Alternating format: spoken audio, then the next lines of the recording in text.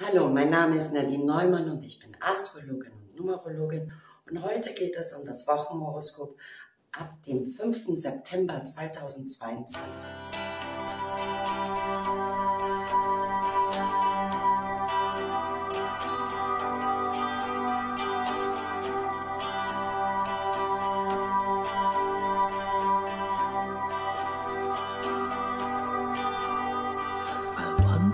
Herzlich willkommen bei Sonne, Mond und Astrologie.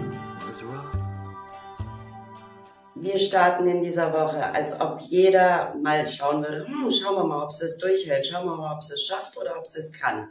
Unser Durchhaltevermögen, unsere Disziplin wird einfach auf die Probe gestellt. Sei es im Stau morgens, sei es bei einer komplizierten Aufgabe. Es ist einfach unsere Disziplin und unsere Weitsicht gefragt, so ein bisschen. Ab Mitte der Woche suchen wir nach dem Nicht-Normalen in unserem Leben.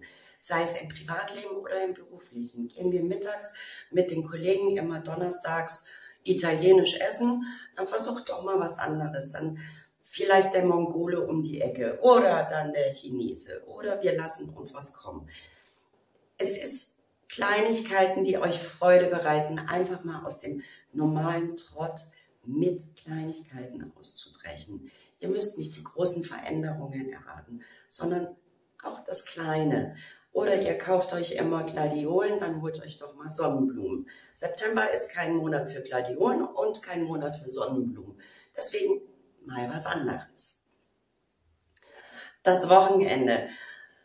Emotional flexibel, ja, aber im positiven Sinn. Ihr seid in der Familie gefragt als Mediatoren, als hör mir doch mal zu und gib mir deine Meinung.